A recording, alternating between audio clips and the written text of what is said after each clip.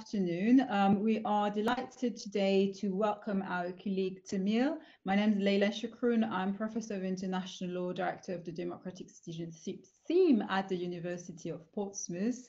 And as I said, very happy today to welcome Thamil. Thamil happens to be my former student. Um, we met a few years ago at Maastricht University in the Netherlands. And since that time, I'm really delighted to see the, well, the journeys of Thamil really, because he's made a major, you know, progresses somehow and already uh, achieved a, a, number of things, including the publication of very interesting book, Sri Lanka, Human, sorry, Sri Lanka Human Rights and the United Nations, a scrutiny into the international human rights engagement with a third world state, which was published uh, last year and already met a large audience, I think. So I, you know, warmly recommend that you uh, have access to this book, Sri Lanka Human Rights and the UN, which is based on Thamil's uh, PhD. Uh, Thamil is now working on a series of other publications, including on the topic he's going to address today, which basically deals with the decolonization and also deracialization of international law. Thamil is now a lecturer in international law at uh, Griffiths College in Dublin, Ireland. So without further ado, Thamil, I'd like to give you the floor for about 20 to 30 minutes and then we'll have questions and answers. Everyone, you know that you can use the chat box below screen here. Yep. The floor is yours, Thamil. Yeah, perfect. Thank you very, very much, um, Leila. Um, I mean, it's it's my profound privilege that Leila um, invited me to um, um, to give this uh, talk. Um, and also thanks to Olga, the University of Portsmouth, for organizing this and giving me this platform. I mean, this is certainly, as uh, many have uh, said in different settings, uh, a new way to encounter and, and to discuss academic issues um, in light of the pandemic. And I'm um, sincerely uh, grateful that so many um, people have joined here. And I see some of my students are also online and, and colleagues and, um, and so on. So my warm welcome to everybody uh, wherever you are um, um, you know, tuning in from. So um, as Leila has introduced already, um, uh, I, have written my, my first book on uh, Sri Lanka's human rights engagement with the United Nations uh, from a uh, perspective, if you wish, um, and giving it a TWAIL spin. And um, my next book, um, from which also part of this presentation will um, flow from, deals uh, with a very contemporary topic, namely uh, the title is at least taming taming the beast um, counter-hegemonic approaches to uh, combat racism xenophobia authoritarianism uh, on a global scale. Um, it's it will be very much a TWAIL uh, linked book. Um, and from this book um, there is a chapter that deals with um, racialized capitalism um, and how colonialism has contributed to the making of um, racialized capitalism. So uh, from the title of the presentation, um, let me, you know, uh, introduce you and, and walk you through the three uh, larger sections. Um, namely, number one, the standard of civilization, number two, racialized capitalism, and then number three, the consequences that we are still facing um, under international law from the colonial aspects that have contributed to uh, racialized capitalism. Um, and as Leila also said earlier, uh, if you have any questions, please you know write in the in the chat box, and um, hopefully we, we we we can work through them after I finish the presentation. Um, and also my apologies that I don't have any fancy um, presentation. Um, I was not thinking really about it um, these days to do a presentation. So if you wish, I can, you know, uh, build up a presentation and then um, send it on to Leila um, and University of Portsmouth later on, and it can be sent sent around later on. So, if I may refer to Aimé Césaire um, from his very famous book Discourse on Colonialism, uh, Césaire reveals that the colonizer's sense of superiority, the mission as a world civilizer, depends on turning the other into a barbarian. Colonization um, the, the, is the deliberate destruction of the past the so-called thingification, as he calls it.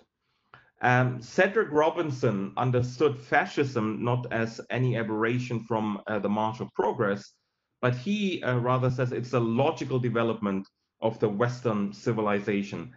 Um, he says actually in a particular term, he says fascism is the blood relative of slavery and imperialism. Uh, and coming back to Aimé Césaire, um, the uh, he spoke he spoke about that nobody colonizes innocently um, and a nation which colonizes a civilization which justifies colonization he says is already is already morally diseased so to this end uh, colonialist europe has uh, grafted modern abuse onto ancient injustice the hateful racism was um, put into place onto uh, old inequality. Um, the Swiss literary uh, critic um, uh, held um, all that is uh, not civilization, all that resists or threatens civilizations is monstrous, it's evil. The defense of civilization can, in certain circumstances, justify the recourse to violence. The standard of civilization to this end is a tool of hierarchy. Um, it separates um, those admitted to um, the international society of states from those deemed unworthy and denied entry, at least until they can measure up. So um, only one or two days ago, I gave um, a webinar which was uh, focusing on trans-civilizational dialogue.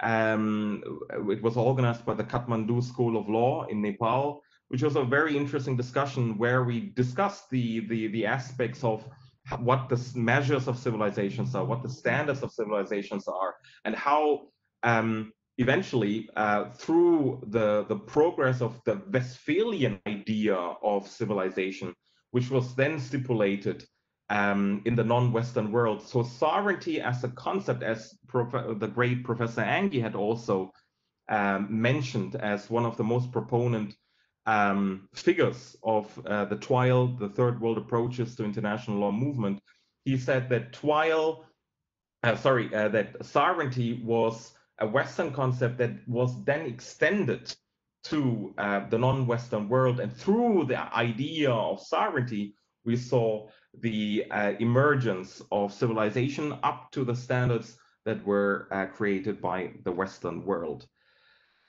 Having said this now, um, giving this kind of a um, you know, background, um, I would like to progress now to the second stage, um, namely the, the aspect of racialized capitalism. Um, David Fidler writes, international law used to impose policies institutions and values embedded in Western civilization. Western powers then advanced their civilization by using a system of capitulations and imperialism. And it is in, in this aspect, in this against this background, that we need to um, uh, um, look at uh, the the ideologies and and um, intellectual uh, amplifications that were stipulated by Francesco de Vitoria. Uh, he uses the idea of jus gentium, justified the just war, as it was linked to commerce, trade. Um, business cannot be barred. Um, it's interesting that Vitoria, however, always spoke about the Indians as ones that had reason, who had their own civilization, and that they needed to be treated equally. Um, and this is this background of this whole discussion that also Anthony Anghie has picked up on. And interestingly, it was Leila who introduced me to Anthony Anghie while I was studying under her in, in uh, Maastricht. Koskenniemi says the legacy of the Salamanca school was to develop a particular imperial and modern conception of dominion the modern concept uh, of dominium, gentium, and just war uh, led to the emergence of um, centralized states, global economic states based upon private property, continental warfare. It led to the creation of empire, And it is in this context that we need to stress that, interestingly, early international law by Francesco de Vitoria in particular um, used the egalitarian discourse to justify possession. And that is something quite interesting to consider in this uh, larger picture of the creation of empire. So capital can only be capital when it is accumulating upon the dispossession of the non-Western world. It can only produce and move through relations of severe inequality among human groups.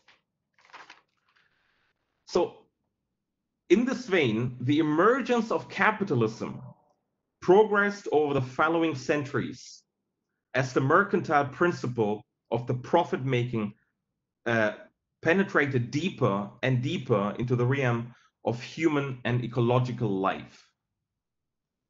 Kris Manjapra wrote a great book in this regard. I, am not sure if you came across this uh, wonderful book. Currently writing a book review uh, for the um, for uh, the Northern Journal for uh, um, Human Rights. Um, it's it's a book that I would highly recommend to every anyone who is here in the room. Uh, Colonialism in a Global Perspective by Kris Manjapra. Um, Kris Manjapra writes, um, colonizers attempted to commodify, extract, and appropriate land, labor surplus from differentiated racialized groups. And then he furthers to say different forms of colonial coercion, racial differentiation were employed to cheapen the price of labor to dehumanize labor and the laborers. So the current, in this regard, the current state finance racial violence nexus nuances the inseparable confluence of political economic governance with racial violence, which enables ongoing accumulation through dispossession by calling forth the specter of race. And the specter of race is a threat to the legitimate state counter violence in the interest of financial asset uh, of ongoing classes. Um, eh, in this regard, also a, a shameless plug, I wrote um, uh, a short piece on critical legal thinking, which is um, a website by um, critical legal scholars from the University of Warwick, one, one um, cherished colleague is here also uh, as a participant. Um, so I wrote this uh, piece um, against the background of uh, the ongoing um, uh, police violence in the United States, but in particular as a triggering point, the killing of George Floyd. I named this article, um, The System Was Never Broken, It Was Built This Way. And in this article, I, I, I try to explain and elaborate how um, the early forms of slavery uh, and people who worked on the fields uh, were policed by uh, slave hunters. and slave owners used those slave hunters to track down slaves that, that tried to flee and keep them as part of the commodity on um, the slave plantations. And this form, I mean, in a nutshell, has then metamorphosed in contemporary forms of uh, policing uh, of marginalized groups, in particular of uh, African Americans in the United States. So police violence that we know today as, as a part of a part and parcel of the United States history is a direct result of settler colonialism. Uh, there is no other way to explain this. So um, if, we, if we further um, and, and broaden the picture of, of violence that we see and colonialism and racialized capitalism uh, that emerged through colonialism, uh, we, we just have to um, share our view uh, to France. Um, think of uh, the, the, um, the banlieues in 2007, the marginalized groups that, were excluded from the state making. Um, think of uh, the different ways um, how uh, racialized capitalism through colonialism had uh, prospered and emerged in um, the non-Western world. If we look at the current remnants, um, of colonialism in those uh, parts of the world. And I'm thinking in particular of Puerto Rico. Um, I'm thinking in particular of uh, Sri Lanka. Uh, I'm thinking of Chagos Islands, uh, which was one of the most important cases in terms of um, the colonial discourse of last year uh, before the ICJ and its advisory opinion. Um, we see the impact of racialized capitalism uh, also on uh, various health systems of the world. And we see that also in different forms of um, housing projects around the world. Racial capitalism did not arise after this um, new form of colonialism. Um, colonialism began uh, with uh, as its animating spirit. Racialization is, to this end, infrastructural um, to racialization, uh, to sorry, uh, to uh, colonialism, um, with legacies from slavery that persist into our own time. Uh, when and once I had mentioned to you earlier uh, Puerto Rico or Chagos Islands or um, Sri Lanka, um, I, I, came across yesterday um, parts unknown um, by the the um, unfortunately too early deceased Anthony Bourdain, um, and it's not only a cook show that I'm watching on Netflix. It's rather Anthony Bourdain investigates um, political, historical, colonial um backgrounds of um, of uh, uh, the, the colonial heritage, right? On n'est pas au spectacle et je vais répondre à la question que me pose monsieur. Sorry? Is this a question or? Sorry, somebody just unmuted their microphone, but I, I uh, muted them again. Oh, okay, right. Sorry. Sorry. Um, so, um, the, I mean, the, to come back quickly to the point, um, Anthony Bourdain uh, unpacks um, in, in a very interesting manner the colonial uh, background and the existence of colonialism until current times and the impact of colonialism through racialized capitalism in current times when he discusses the issues of African slaves that, that, that were brought to Puerto Rico or who were brought to um, to, to Brazil, or um, even if I look at um, the the country of um, my my parents, um, namely Sri Lanka, we still have excluded African communities that are a distinct community uh, in Sri Lanka, for example. So those visible um, uh, representation of colonialism um, is there in front of our eyes, and their exclusion from the making of a society uh, is part and parcel of racialized capitalism. But I will come to that in a in a bit, and also discuss it perhaps in in a um, in the larger discussion. So coming back to Kris Manjapra, Manjapra um, the new colonialism is emergent then through racial capitalism and is manifested through, he used four examples, namely capitalist war, number two, racialized rule, number three, moral deception, and number four, transformative resistance. Racial slavery um, is uh, uh, stipulated through the total commodification of human beings, where human beings were treated as units of currency. And this is what I said earlier when we see uh, the existence of slaves as the ultimate product of racialized capitalism through colonialism in those different parts of the world. Um, co colonialism in its multiple and asymmetric of, uh, forms does not just entail an attack on different people's social encounter and lands, but a war on people's families, cultures, spirits, and um, psyches. Neocolonialism, uh, rooted in the rise of racial capitalism, redraws the line between humans and non-humans. And colonialism is a form of the social power and the social differentiation that structure societies on a global scale today. So um, I think I'm, you know, meeting the 20, 30 minutes in a bit. Um, perhaps uh, let me um, conclude um, with um, a quote by US um, scholar Ruth Wilson Gilmore. Uh, and she said, interestingly and, and in, a, in a, an elaborate and sophisticated way, the following. all capitalism is racial from its beginning which is to say that the capitalism we have is inherited and is constantly reproducing itself and will continue to, de to depend on racial practice and racial hierarchy, no matter what. So it is with this that I would like perhaps to, to conclude.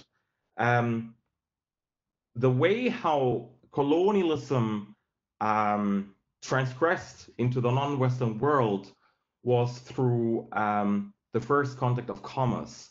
But then it progressed into uh, a system of exploitation, plunder, pillage, and uh, subjugation through um, an elaborate form of explaining the standards of civilization that were um, created to other. At the end of the day, standard of civilization is a is a system of othering or a system of capitulation, a system that wants to subjugate. And through this, we saw an emergence of um, racialized colonialism that benefited the many, um, the, the few, but not the many. And the approach of uh, the third world approaches to international law to this end, uh, and I, I'm humbled uh, to be member of, of uh, this um, distinguished movement is to deconstruct the colonial legacies um, of international law and the reproduction of colonialism through uh, international law itself, but also through international organizations. Professor Anghie picks up on the World Bank, uh, the International Monetary Fund, that also restructure and reorder and re-other um, the forms of capitalism. Um, and we need to encounter this because if we want international law to be truly international, to be truly what we call jus gentium, Völkerrecht, uh, as we say in German, law of the peoples, then we must make the law serving the law of the people. And the counter-hegemonic approach means to build the law from the below uh, in a way that serves um, the people and not a powerful few that benefit from the remnants of colonialism. Um, and with this, I hope I have finished as a good German, um, and uh, I'm, you know, throwing the back uh, the ball back to uh, Leila. Thank you so much, Thamil. Indeed, you are German to some extent, right? Because you've just finished on yes. 20 minutes. Very good. Thank you so much. That was fascinating really very interesting you know um, of course we all have discussed these questions before colonialism and international but there is something which is relatively new and we have to investigate further. And this is precisely what you propose to do and we're going to do today. And, and certainly in your new publications you're going to do that. You know this sort of racial nexus in capitalism again it's it's been discussed. It's not completely new but it's interesting to revisit it today. And also to understand that it's in between countries but it's also sometimes within a given country a, yeah. few, a few weeks ago we had uh, welcome professor anthony Bogues from brown university and we were talking about you know the black lives matters and what's um, uh, racism today, and uh, uh, we addressed a similar question. He insisted in particular on the concept of plantation and how it played a role in the US, but in many other territories actually.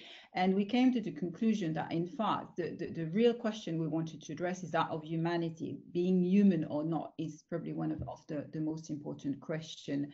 So um, I can see that we have a number of questions for you, uh, Tammy, already, which is always a great sign. I also see that we have very distinguished audience, really. We have a number of uh, eminent specialists, including Professor Anghie, if I'm not uh, mistaken, so which is really great. Oh. So if you want to take the floor at one point, you know, colleagues, just let me know. I'm going to read the questions to Thamil first, then we have a discussion. If someone wants to say something, of course, the floor will be open.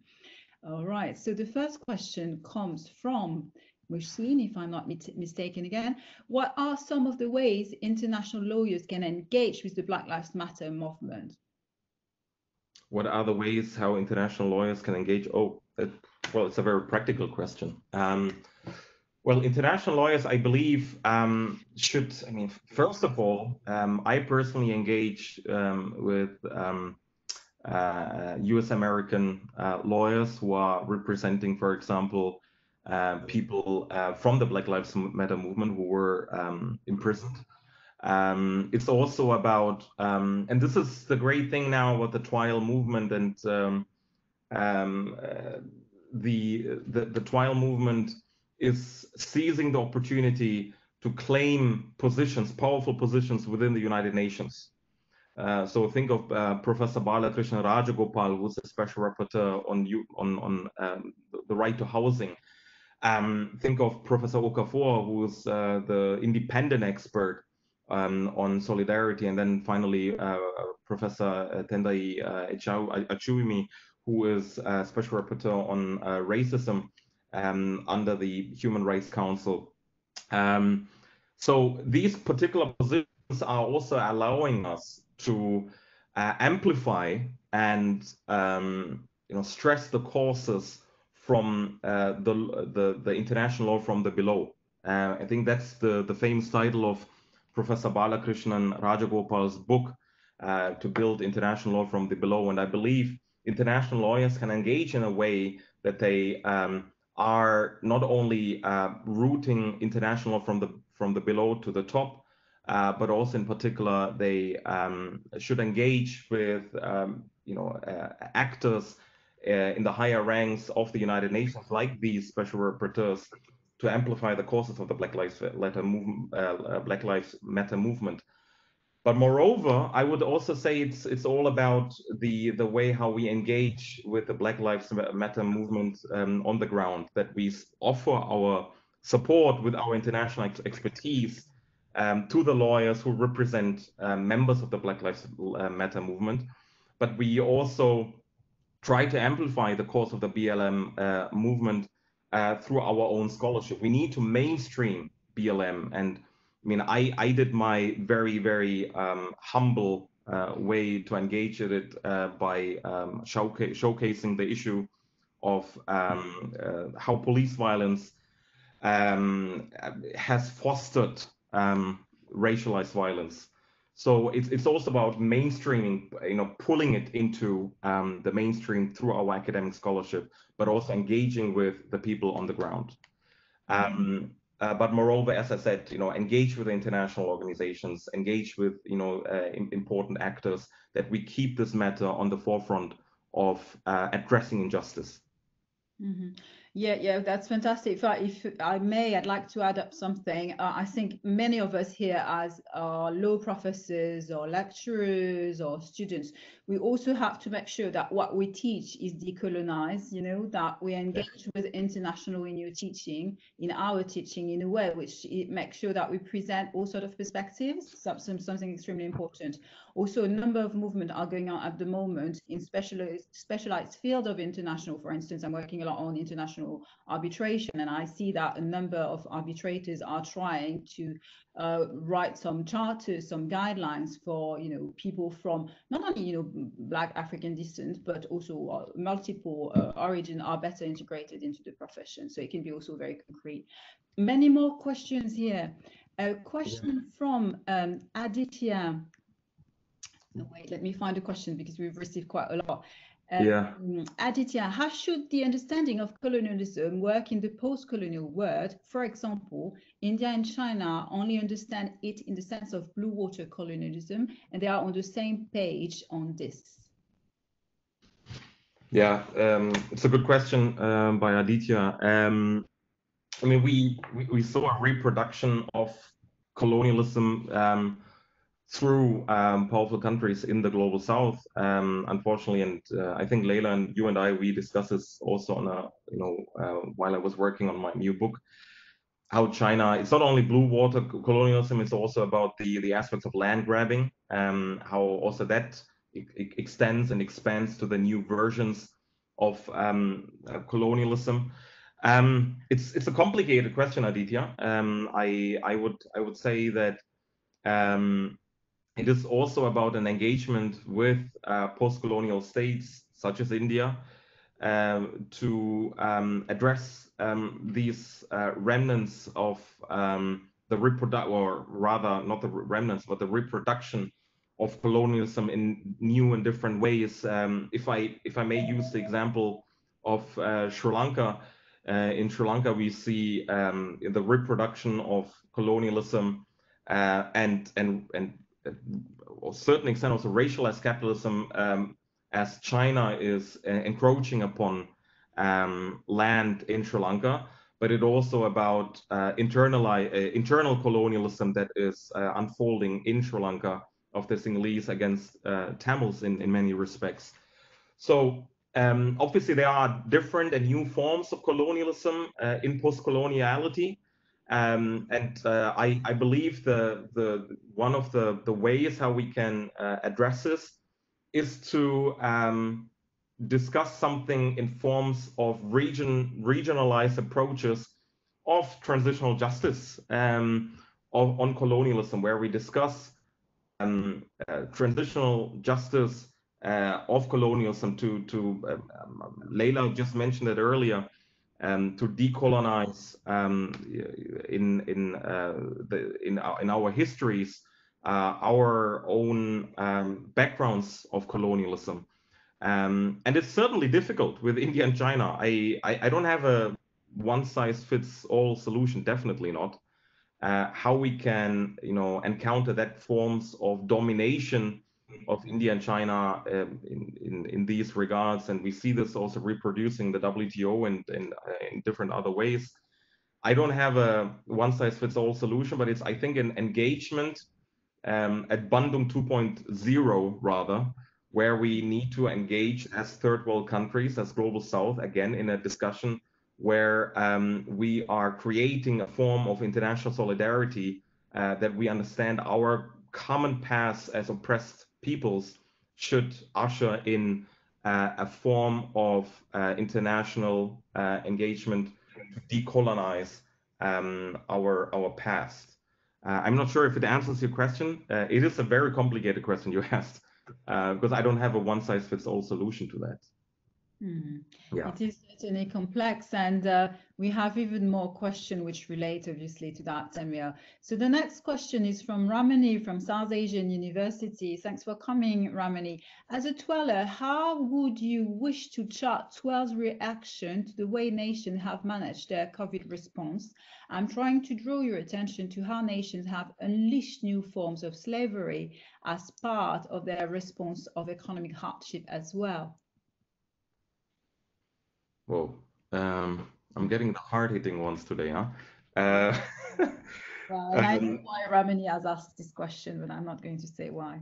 Yeah, Ramani, thank you so much for for that question as well. Um,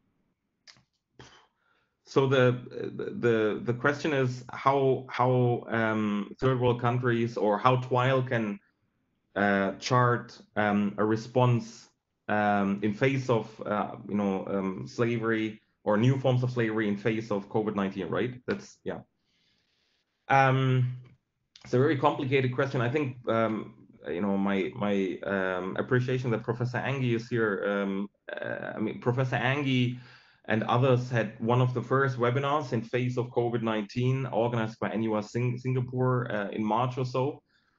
And um, one of the um, questions also dealt with, you know, how you know third world countries, you know, at a larger extent should respond to COVID-19.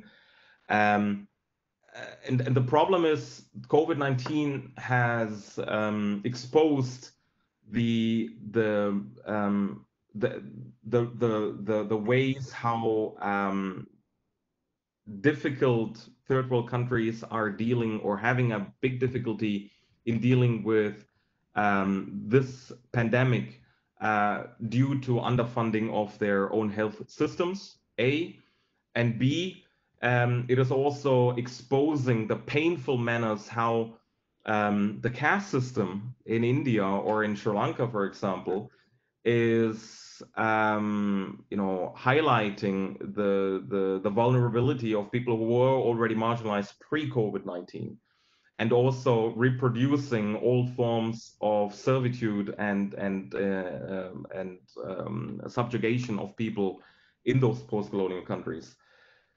Um, I think TWAIL, um, again, you know, I, I remember, I think Ramani was there in the room uh, at the South Asian University back in February um, when uh, Prabhash Ranjan asked me a question. He asked me, uh, TWAIL is not critical enough of their own third world elite, uh, which is untrue. I believe. I believe we are we are critical enough. Um, Muthucumaraswamy, Professor Muthucumaraswamy Sornarajah had um, uh, extensively written on this, um, and we need to contribute also the ill-founded responses of the third world countries to a lack of funding and support of the health system that should be uh, broader built uh, in forms of uh, encountering any forms of um, health crises. Um, and the response of uh, TWAIL should be um, in this regard to uh, draw the attention of uh, third world leaders to um, in, invest in a more rigorous way in the public health infrastructure uh, to support peoples um, who were already vulnerable. And um, as I said to you earlier, racialized capitalism has contributed in ways how um, police is affected, how public order is affected, how housing is affected, but also how health is affected. Um, I think one of the countries that has better dealt with COVID 19 is Sri Lanka, um, as a matter of fact.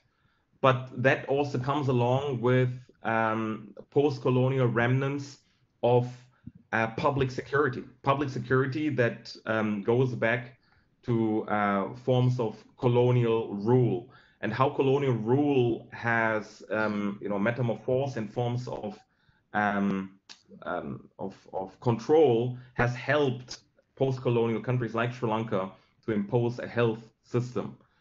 Um, but having said that, I think there TWAIL needs to chart a way of discussion with third world leaders that um, that uh, overcomes um, the reproduction of slavery um, in in the third world countries. And we've seen, you know, Ramani uh, is in New Delhi. She she knows herself um, how many people had to migrate from the north to the south, south because they had no more jobs. Um, and COVID 19 has propounded that problem.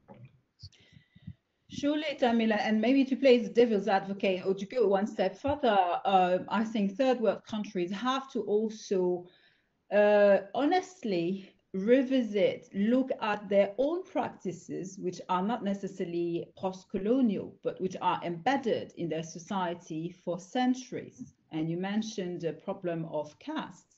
I mean, yeah. how couldn't we talk about that, right? Yeah. So I think honestly, we also have to look at that. Yeah, yeah. Uh, now, TWAIL, TWAIL, sorry for interrupting, and TWAIL needs a more stronger voice towards uh, also the caste system. Yeah. Yes. Thanks a lot, Damir. A new question from Olga. From the point of view of capitalism, is it in is it in the interest of the selected few who hold the wealth and the power to end racial inequality? Surely the concept of capitalism requires some people to have more and some to have less. Is it ever possible to reconcile this with the idea of racial gender and other equality? Yeah, it's a very good question, Olga. Um, when I when I was when I was much much younger, okay, that means like you know I don't want to say how, how much how much not, years, not ago. years ago. actually, Uh, so I, when I was when I was when I went to school in Germany, um, there was this um, schoolmate, you know, classmate that I had. He said something um, along the lines of uh, he he was a staunch capitalist, and he said um, the sentence that um, capitalism requires poverty, uh, and we we it requires inequality. Without it, we cannot su- succeed and and and thrive. Um, and, and he said that in a very frank and open manner many many years ago, and it opened my eyes to new forms of looking at capitalism as it as it stood. And this was you know you know countless years ago. Um, I think the response um, does not come from capitalism to uh, address inequalities. I think that is the question that you that, that it was, right? I think the response does not come alo- along the lines of capitalism. The the powerful few are um, living off and, and thriving upon social inequalities and misery and poverty. And any response that comes um, is not based in uh, capitalism. And I think also Aimé Césaire, uh, in, in his groundbreaking um, discourse of, uh, on colonialism, says uh, those non Western states were not only anti-capitalist, they were anti-capitalist.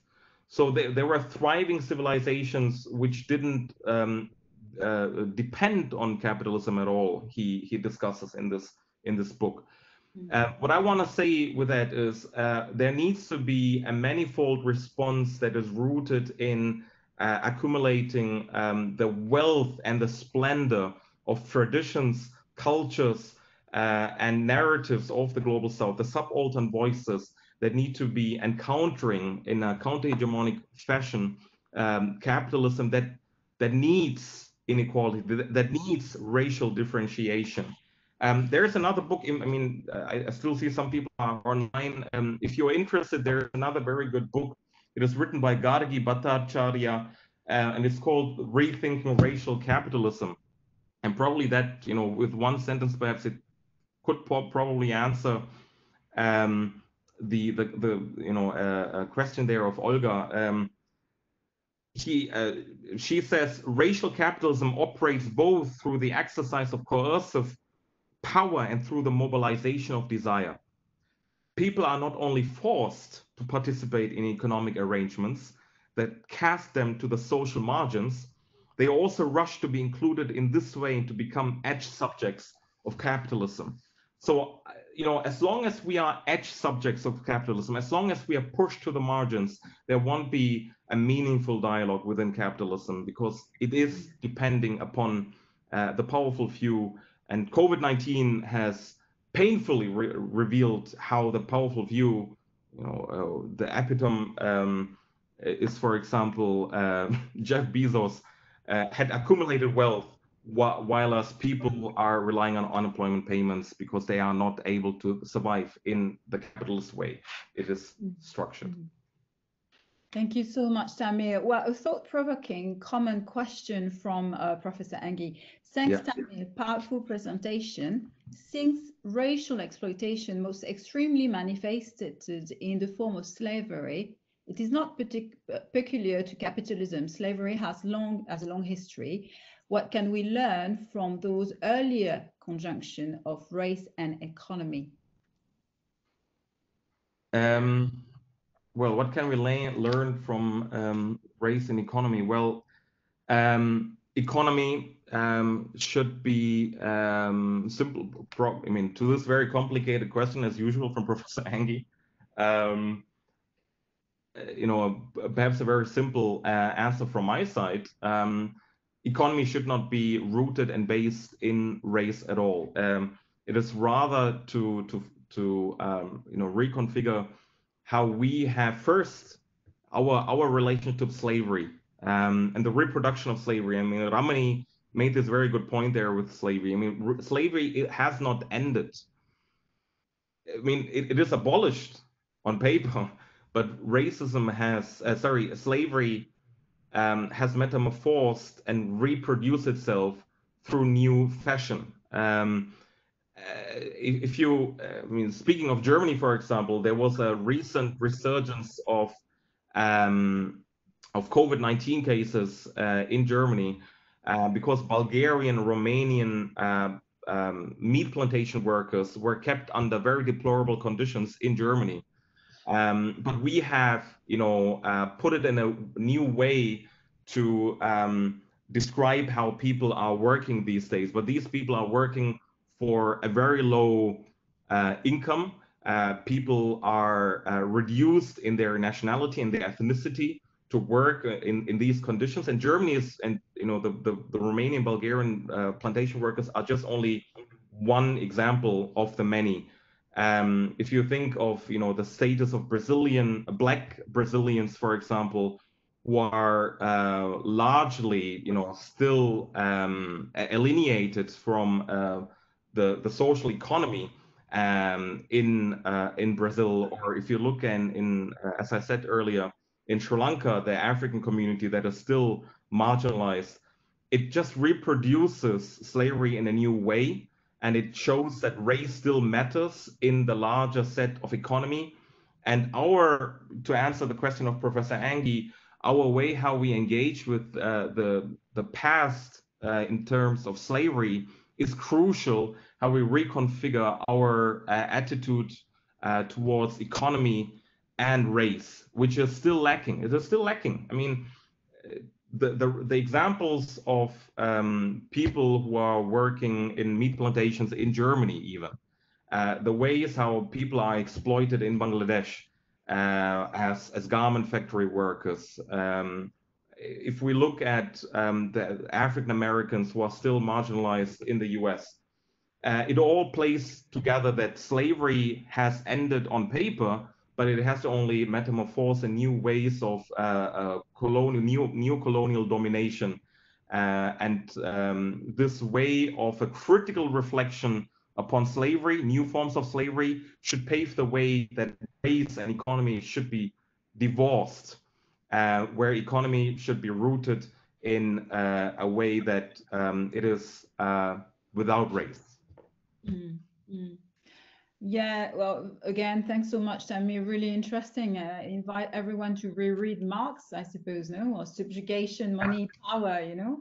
Um, a, a, another question, which is uh, extremely interesting as well, from Richard. Let me find a question because we have lots of comments and questions which are great, including some references to publication. I saw that Aditya had um, sent us a reference to a publication on caste in TWAIL. So question from okay. Richard. So is it your thesis that international law is not inevitably capitalist and then racialist and then colonialist, etc., but that it could be reconstituted on a non-anti-capitalist extra line through the UN and or from below? Well, I think it's a lot in the same question. I'm yeah. thinking uh, of uh, Pashukanis's idea that law is a capitalist bourgeois development and concerns about whether the master's tool will ever demolish the master houses. Yeah, very good. I mean, Pashukanis is a very it's, it's a very good point. I use Pashukhani in this in this piece on critical legal thinking um, as well. Um, I mean, I mean that's I think the the very starting point of I mean, uh, third world approaches international law that we do believe that you know uh, uh, international law is is um, you know has its roots in, in colonialism. It is it is uh, racialized. Um, and also cu current uh, um, TWAIL scholars like Professor Gathii or Professor uh, Makau have tried to link critical race theory with TWAIL um, in order to deconstruct, dismantle the colonial, racialized, and capitalist origins of international law. Um, the response to dismantle um, international, international law as it stands today, um, with its new forms of inflicting capitalism uh, through austerity measures, such as um, the IMF. Um, think of the measures that the IMF has inflicted and the, the, the, strong position that IMF holds um, without any doubt uh, in contemporary international law and the role it has inflicted upon um, you know uh, um, situations uh, such as Puerto Rico, uh, Argentina, Greece, or in other in other parts of the world is just only reproducing um, the, the colonial origins. So to answer the question, I believe that um, if we want a genuine uh, approach to dismantle um, the, the colonial origins, we need to reconfigure it through the international organizations itself. Um, there is no other way. Uh, it, it is still existing. It is still existing. It is re reproducing, and is re-emerging the empire. I mean, the empire has not ended. It has. It, it is just only existing in new, fashionable ways. And the IMF is one of its most powerful uh, representations of such.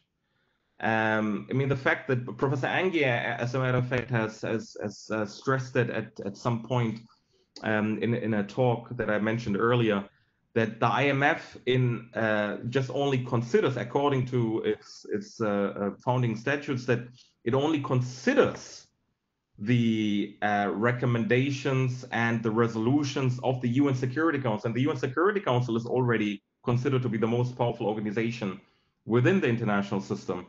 But uh, above that is the IMF. And the IMF, through its measures, is just only reproducing uh, the colonial origins. And th that is what we should be careful about. And this approach has to come within the international organizations, which um, we need to encounter um, within the global south. Hmm. Thank you so much again, Thamil. We have a few more questions. They are fascinating, so I think we need to take the time we need to go through all these questions.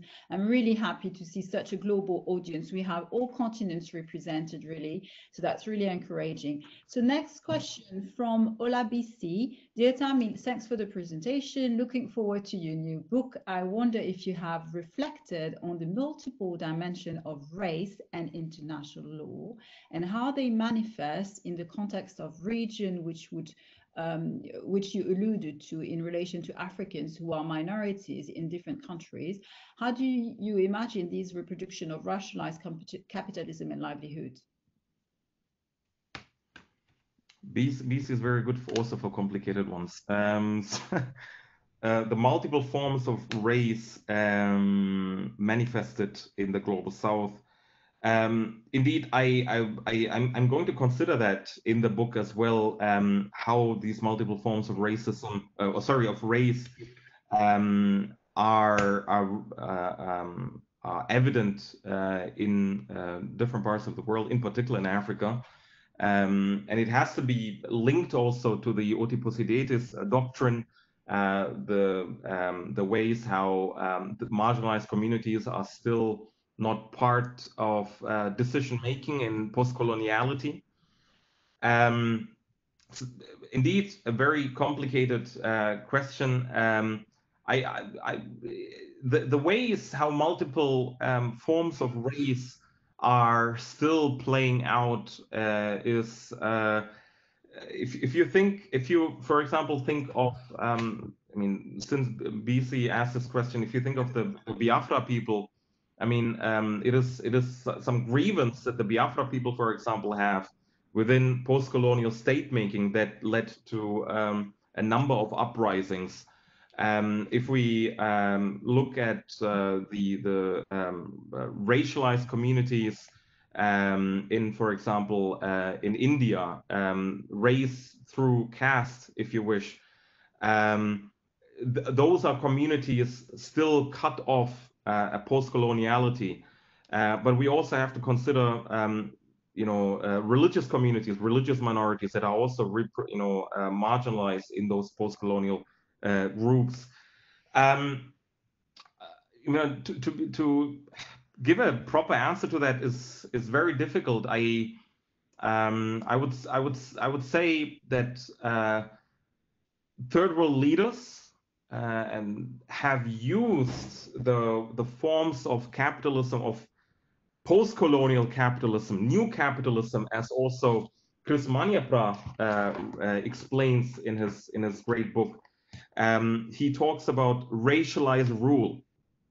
Um, so um, he says that the racialized rule is a drive to impose the dominators order on the rebellious and unruly domain of colonized and so social and ecological life this strife involves the ongoing and anxious compulsion uh, of colonizers to sequester, categorize, contain, arrange, commodify, and manage colonized people and communities.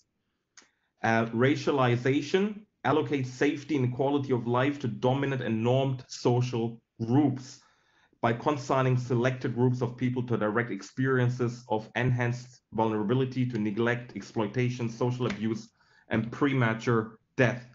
Um, what he basically says to, uh, through the aspect of new colonialism is that in at the end of um, the the, col- um, the the rule of the former colonizer, we it had replaced was replaced by um, a new colonizer within uh, third world countries, third world elites that have again used capitalism to racialize for their own power play, right? So uh, I think Nigeria is a very good example. Uh, Brazil is a good, very good example, and Sri Lanka, for example, is a is a is an excellent example. How capitalist drive had actually helped the third world leaders to manifest their power, and through their um, capitalist drive and neoliberal doctrines that were imposed, also in, in engagement with um, the the international institutions, we saw a further uh, fostering of uh, racialization. Again, uh, I will discuss it in my book. You know, the multiforms, multi-way, multiple ways how um, race was manifested in the global South, um, and discuss it. But thank you very much for this question. I hope somehow I answered it, uh, Bisi. It's a very complicated one, but I will surely consider it. I think you responded very well, Thamil, actually, and you stressed something really interesting in mentioning, you know, this sort of uh, shift from uh, colonialism to a new form of it within the third world countries, actually. Uh, yeah. Maybe that's the last question from, from Maggie. In this approach of searching for an international framework against racial capitalism, not uh, leading to the subtle racialized dynamics of capital capitalism in very different political, cultural, uh, and I've lost the question, in very different political, cultural contexts, is it possible to have South-South localized effective frameworks against racialized capitalism instead? Uh, can you can you just uh, you know catch on the last part of the question again? Sorry, I, I, it got caught off.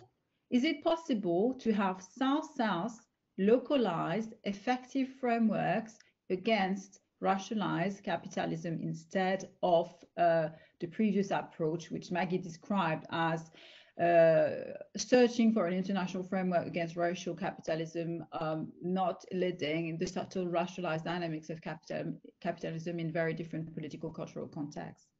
Okay, so ba basically, in, in, a nutshell, a south-south approach, yeah. like a localized south-south approach to face racialized capitalism. Well, um, it could be, but I, I, don't think it will solve the problem at all uh, because, um, I mean, how how are we going to you know encounter the the greater problem of racialized capitalism? Um, racialized capitalism uh, you know requires a global agenda.